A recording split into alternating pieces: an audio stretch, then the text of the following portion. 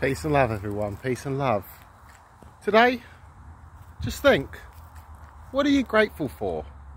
Too often do we think in our lives, what are we missing? We can do without this. Thinking of the dramas, the woes, the tragics, and the comedies. But rather, take a step back. Just examine. Examine yourself. Be grateful for your breath, your heartbeat, for Mother Earth, for your existence. Think what a privilege it is just to be able to breathe, learn, love, touch, experience, progress your skills. Be grateful for the good and bad that has happened to you to make you into the person you are today, the person you need to be in this present moment, your true self.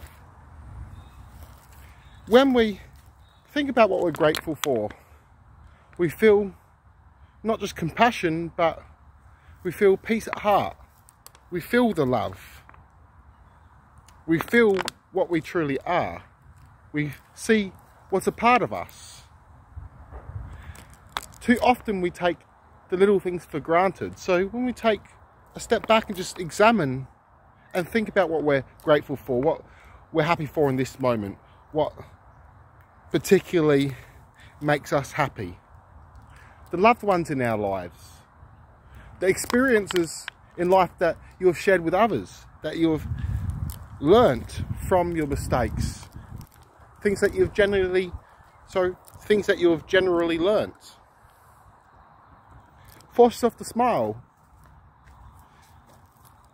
and push yourself through harder times because without the woes and the downs, the ups would be meaningless.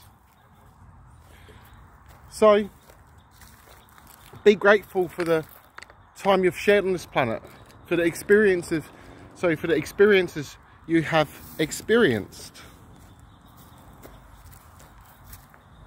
for the memories, just to exist. Be grateful.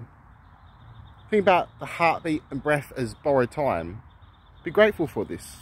Cherish it. Cherish your existence. You didn't come here to suffer. You come here to live the best possible human experience you can. Peace and love everyone. I love you all. Connect to one mind and soul. Namaste.